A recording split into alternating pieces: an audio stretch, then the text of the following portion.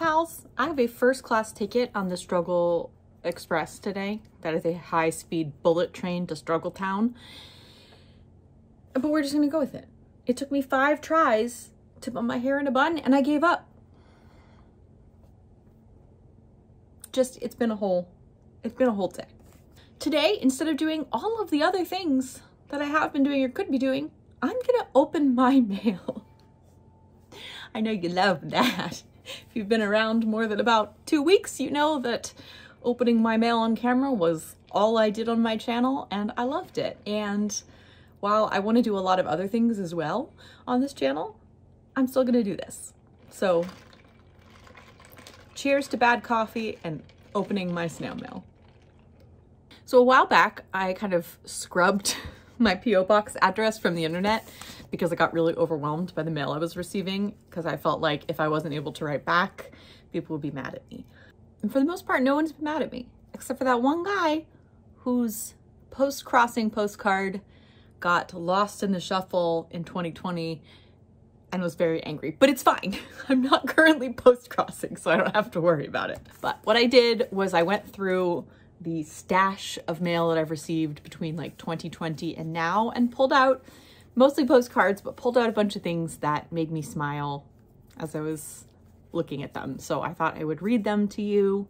It's a great cross section of people who have been writing me for years, like since 2018, a lot of them, and have continued to write me even when I don't write back and I'm a struggle bus. So I'm gonna read you some of these. And then I also have this month's Olfactif, I always think it's a V, but it's an F, Olfactif subscription. That's a perfume sample subscription, so I will open that as well as part of this because it's my mail. It's snail mail, and it's a great Venn diagram of things I'm enjoying right now. So I have this incredible vintage postcard that was sent to me from Trooper, who is a trooper. says, whenever I come across a vintage card, I say a thank you to the snail mail superstar. Appreciate you sharing this passion with the world. This one was from November 2020, and it feels good to be back sharing one of these passions with the world. I got this one from Betsy, who I adore. Too glam to give a damn truly. Says, Sara, I can't remember if I sent you one of these or not. You do some fierce makeup looks, so I thought you needed one. Cheers. Speaking of makeup, would you watch a makeup bathroom tour? Because down here in my basement of wonders, I have a little bathroom that is my bathroom. No one else uses it for the most part. And it has all my makeup stuff and it's decorated in a very me style. And if you'd like to see it, comment. If not, that's cool too, but I might do a little tour. This is a classic Constellation Co card. And am I mad that people send me my own cards? No, no, because I need these words as much as other people do. You don't have to be able to explain it. I don't have to totally understand. I'm still here for you. This is from Jim. Love you, Jim. It says, things have been rough lately. Then by all means, do what you need to do in order to get well. We all love you. Sending prayers your way. Just so kind. This was sent right after I announced my sabbatical in the fall and I can't tell you how much everyone's support has meant to me because it was so scary to make that announcement and change things and um, really appreciate it. All right, this one is not currently signed and it got separated from its other card, so I apologize to whoever sent this, but it says, Sara, enjoy sabbatical, you deserve it.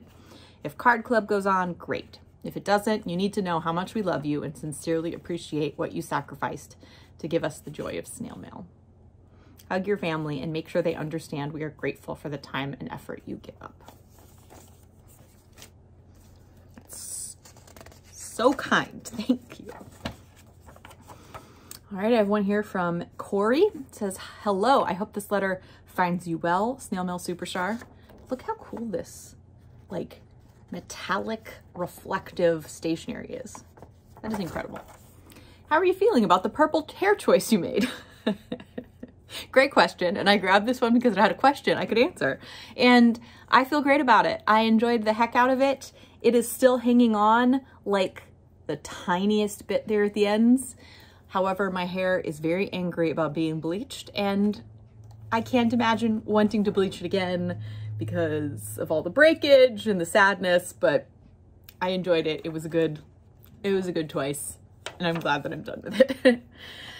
says, I am happy to see you sur survived the ludicrous heat wave we experienced and babysitting eight children. Oh my gosh. Yeah, y'all, last summer was crazy. I agreed to babysit for three different families and hosted them all in my backyard on a day when it got to 101 degrees. And the children ate 50 popsicles in one day. And it was wild. I went out one day last weekend and it was 119. Seriously? On that note, we finally, finally made the uh, commitment and the investment we never thought we'd make and we got air conditioning. So this summer, I don't have to sleep in the basement because upstairs is too hot and it's too hot in the basement to sleep. So honestly, I'm very excited. Says, I love your Instagram and your work. I hope you're doing well. I imagine you're in your garden today. Regards, Corey. Love that. Just came in from the garden a minute ago.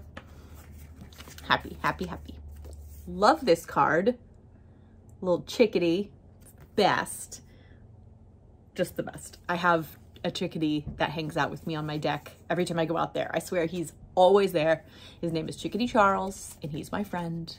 And I'm getting a chickadee tattoo. So this card was beloved when it arrived. I really like this one. This is this is a good one. This is from 2021. It says, I'm not sure how to start this, so here goes nothing. Hi, Sara, Snail Mail Superstar. I saw you're going to be on a sabbatical and I wanted to send you some warm fuzzies, good vibes for what is hopefully a rewarding and restful time for you. I was in a bit of a reading rut and feeling terribly lonely when I finally sat down with my copy of your book. My book is called The Year I Became Snail Superstar. There is a bookshelf above me. I noticed in my last video, I was like reaching into the sky and pulling things out. It looks like this. All the copies are sold out, but there is a digital copy and if you don't have a paper copy and you would like one, let me know. I might be able to arrange that. So you know what to do in the comments. It says, it was really great timing that I read it when I did. It helped me feel seen and less alone, which is everything I wanted when I wrote my book. So thank you for telling me that. Like you, I'm an older sibling in a large age gap, which was cool to read about and how close you both are. Love my sister. Besides your book, your cards have helped me with some projects. For one project, I had the kindergartners in the classroom I was teacher's assistant in each decorate a birthday card and write their names in the card I ordered from your shop to give to the main lead teacher for her birthday. I love that. More recently, I discovered your Things Have Been Rough Lately card through your blog. To say that would be an understatement of epic proportions, so I ordered a set of six for my closest friends to send to thank them for their support. It made me smile to find the sticker, Cozy Winter, you included with the package and your kind note as well. This is all to say your kindness and hard work you're putting out into the world make a difference, and I admire you for that. I've caught a few episodes of your podcast and respect your sincerity and compassion for yourself, your friends and family, and people like me who just really like your cards. Wishing you well as this year winds down and into the future, whatever it holds for you and your family. All the best, Natalie. P.S. It's awesome you had the MLS Cup trophies at your store. Go Sounders. Definitely a kindred spirit. All right, I have a, another several postcards, but first we're going to do this. So this subscription, this is only the second month I've received it, but I am very excited about it. It comes out in a in a theme every month. This theme for April 2020 is Awaken Till Slumber.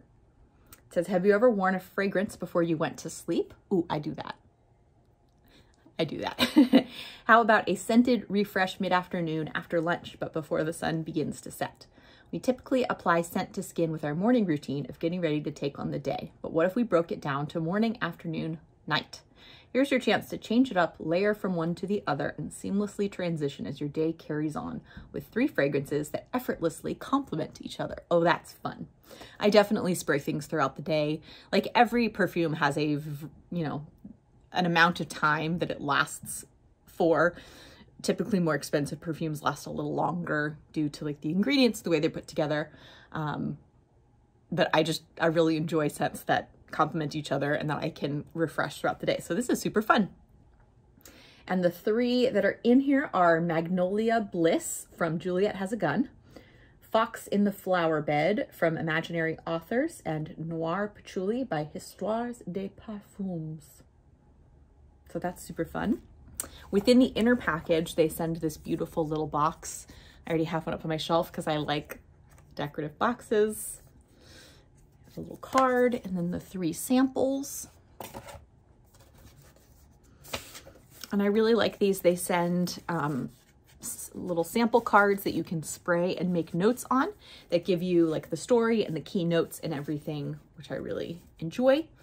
But I do like to smell and then read. That is my preferred method. All right, we've got Magnolia Bliss. Ooh, ooh,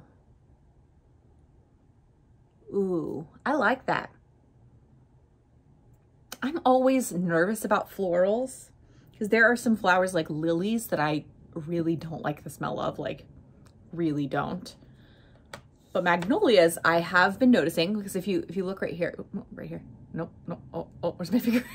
there, if you look there, there's a magnolia blossom and I painted that based on the magnolia tree that we have up on our deck. It's like a little baby tree, but it is in full bloom right now, these beautiful, rich red purple blooms. And we picked that out as a memorial tree for my father-in-law who passed away in February. And the, the blooms on it smell incredible. It says refreshingly floral. It has magnolia, musk, ambroxan, freesia, peony, and peach. Ooh, the peach. Yes, definitely feel that. Like a nice springy, summery. That peach is nice. Refreshingly floral, magnolia bliss is playful, feminine, and vibrant. Inspired by the flower power movement of the 70s, this piece in a bottle fragrance showcases the bold blossoms of the magnolia tree. The bliss of the fragrance is its ability to make you smile as you fling your hair back and shimmer into the beauty of the sun season. Summer stone fruits shine through a myriad of florals of the ombre, ombre colored bottle where ambroxan and musk develop on the skin with time. Yeah, that's super fun. That's a very summery, summery scent. And I'm enjoying getting to know some summery scents because I started my perfume journey in the winter and was really enjoying like some like sweet, more like coffee scents, like things that had some like mm, warm and coziness to them. And in the spring, I've been enjoying things that are a little bit more like a little brighter, a little more like green and fresh and woody. But I'm enjoying also kind of thinking about what kind of scents I want for summer. So this is a nice one. I like that. All right, the next one, Fox in the Flower Bed. Great name. Oh, oh.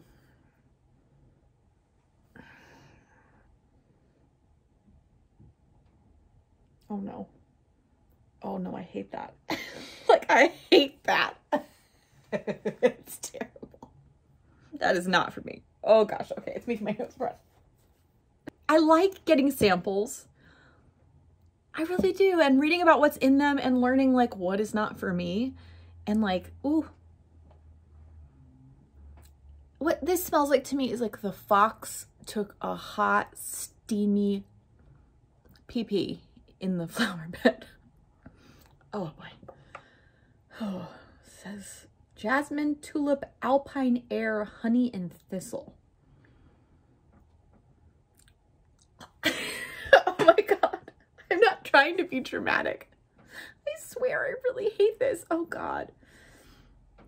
his, this fragrance shines a light on lush jasmine, but in a way that you're smelling the aroma of the jasmine as it floats above its petals in the open alpine air. Pink peppercorn gives a tad of spice that is sweetened slightly by the honey note.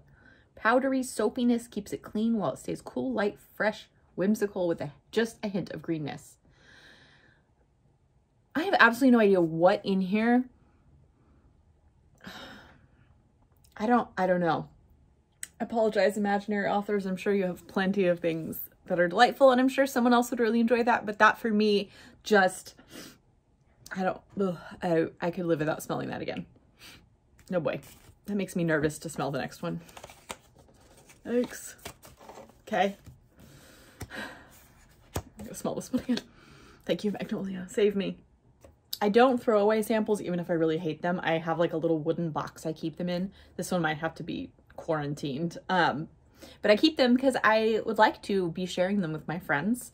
So I have a girls weekend coming up. I'm going to bring them all, let my, my gal pals let, smell them and see if there's anything they really like um, so that they would know what they would want to buy maybe because not everybody wants to collect dozens of samples like moi.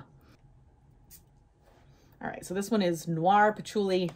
Oh God, I can smell it from here. There are scents that have patchouli in them that I enjoy. And there are scents that have patchouli in them that make me want to jump out of my skin. And oh God, oh no. See, last month in the, what do you call it? Olfactif subscription, I liked all three. Like they were all nice and I like them all. And I know I'm not going to like every month and all of them, and that's okay. And that's what for me perfume is, is like an experimental, fun, get to try things, learn about myself, what I like, what I don't like, what makes up those things. No, that's very strong. That's very, very strong. This one says a crimson rose. Rose is not my favorite. We're starting out strong. Sits on top of sensuous leathered patchouli. Yep, patchouli, opens up the gates to this dark, sultry, and oh so spiced fragrance. Says, warning, don't evaluate this solely based on your scent card. It has to be worn in the skin to fully appreciate. Yeah, but if I hate it on the scent card, it's hard for me to want to put it on my skin and live with it. Like, I just, I don't like that. I don't like the ro- the way that rose comes out um, in this is not for me. The the rose from Ellis Brooklyn is the first rose scent that I've liked and have worn and enjoyed. That one has a different vibe completely. This feels like what is that song about how roses smell bad? A ro rose note falls into the background quickly as an ambery patchouli emerges with soapy musk, giving it a skin-soaked vintage vibe. Vintage I get. I'm I'm feeling like you walked into a vintage store and there was like a cute bottle of something and you sprayed it and then you were like, oh God, no. That's what I'm feeling like. The leather note softens with wear as a dusty coriander floats in and out. See, this is this is it for me. Soapy, don't love soapy. Don't love that descriptor. Don't love the smells that have soapy. And then things like vintage, dusty. None of that is something I want to smell like. Again, everyone's scent and experience scent is so different, so different. But for the love of all things holy, I would like to yeet those last two into the sun and never smell them again. And in fact, they're on my hands a little and that's going to really bug me. But Magnolia Bliss, quite lovely. 10 out of 10. I don't know about 10 out of 10. Not a 10 out of 10, but I do really like that. I will use the sample. Let's put it that way. There's a scale of I'm putting this bottle on my wish list and a scale of I will use the sample in a scale of get it away from me. That's kind of the three extremes. And this one is a, I'll use the sample. So there you have it. That was this month's Olfactif. Now let's read some more postcards so I can stop thinking about those scents. Boy, I literally threw the cards into the trash can. Not for me. Okay.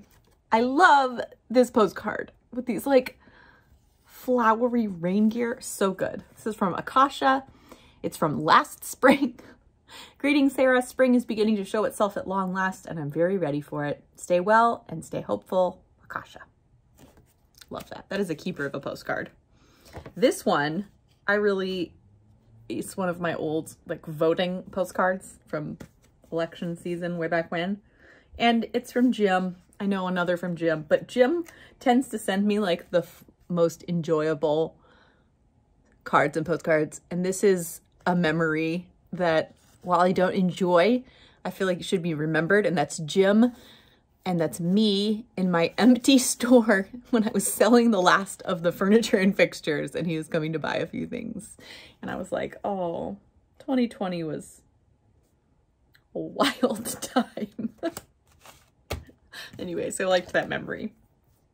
This one is a beautiful, like naturalist, botanical kind of card. Love that.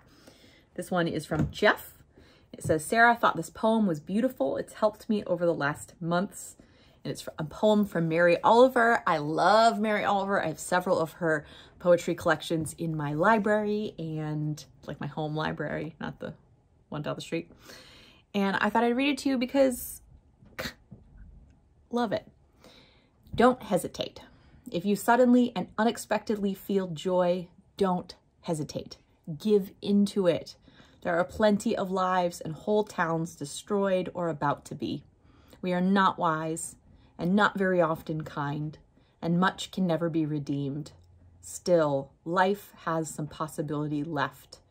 Perhaps this is its way of fighting back, that sometimes something happens better than all the riches or power in the world. It could be anything, but very likely you notice it in the instant when love begins. Anyway, that's often the case. Anyway, whatever it is, don't be afraid of its plenty. Joy is not made to be a crumb. Love Mary Oliver.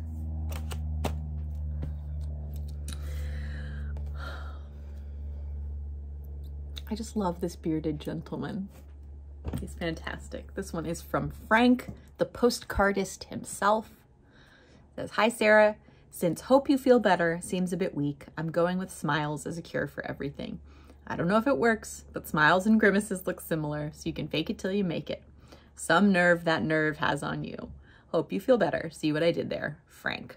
And this one is from all the way back in March of 2020 when I was just really now I understand what was happening, but I was just beginning to see how my body was reacting to burnout, except I didn't listen for like two two years. um, but I started having this like insane neck pain and I was getting numbness in my thumb. And so I had like nerve issues that were going from my neck all the way down my arm. I was in physical therapy for a long time. I had to quit working for a few months trying to work through it. And then instead of taking it easy, I went back to work intensely and then had, you know, just a just a breakdown. It's fine. and my neck kept acting up for those two years because my body was donezo and I wasn't listening to it. So uh, that was a good reminder of that like my burnout really did start in like 2018 and then in 2020 I tried to address it and didn't and then in 2022 here we are we dealing with it so postcard here from my friend Jacob it says hi Sara what a fucking year it's been more questions than there can ever be answers I know Never forget, though, you can smile and love yourself. Every day is a chance for us to love ourselves. I thought that was a really good reminder. All right. So it says, do your part, stay six feet apart in 30 days, more or less. It's definitely been more. This one's from David. And David has been one of the people that just keeps writing to me like I, there's a lot of you, but David is one of those people. I, I just went to my P.O. box recently and there was a postcard from him and I was like, thank you, David. So thank you. This one says, Sara, good on you for taking the sabbatical. I'm rooting for you, Dave. And then on the back here, see if I can cover up everything. There's a Bugs Bunny stamp and it says Bugs is off too, which I love. Yeah. All right, I got two more here. This one is a great little St. Baldrick's postcard and it's from Justin and it says, every year since 2003, I have shaved my head for St. Baldrick's Foundation. St. Baldrick's raises money for childhood cancer research through head shaving events. And I think that's really cool, like super cool. So there's a link on this and I'm going to put it in the description box. So if you would like to join and donate or shave your head, I just think that this is really cool. And this is not a recent postcard, I don't believe although there's not a postmark on it because the USPS is, they, they're doing their thing. And anyways, I just thought that was a cool one. Thank you for sharing that with me, Justin. And then we have a lighthouse postcard, which you've, if you've been around a while, you know these are my favorite ones. I don't care if they're tacky. I don't care if they're awesome. I love a lighthouse and I love a lighthouse postcard. It says, Hi, Sara. Hope you are doing well. Life continues to be unpredictable. So true. I try to continue to look for the light and hope through difficult, and hope though difficult. I think about you often. I love the earrings you are wearing. Oh no, I forgot to wear earrings today. I love funky jewelry. Cheers, Betsy. I really do need to remember to put on earrings. Today I was running around all over the place and wearing masks, so it's annoying to have like dangling earrings. But when I'm either outside or home, I often have been wearing like big, giant, ridiculous earrings. My husband got a 3D printer for Christmas and has been 3D printing me fun earrings like seashells and hummingbirds and octopuses and feathers and like all kinds of fun things. And I just love them. I just love them. I can be like, hey, I need this kind of earring. And he's like, I'm on it. Love it. So good. So that's the mail that I have for you today. I hope that it was a fun surprise to be back on the snail mail train here. I will put my P.O. box in the description box. I'm not going to include it in every video, but when I open mail, I will do one. And as long as you remember that I make no, I make no promises about sending mail back. I do occasionally, and I hope to be able to do that more often.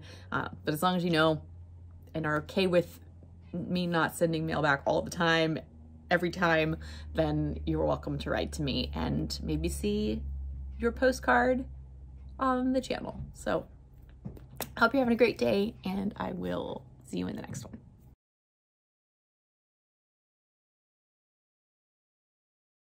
It's fine. So today, instead of doing, oh man, my nose is so itchy, why is it so itchy? Um, all right. I don't know. Yeah. Um, anyways, it's just fun. I always try to make my husband smell things and he's like, that smells good. That smells nice. I'm like, more detail, please.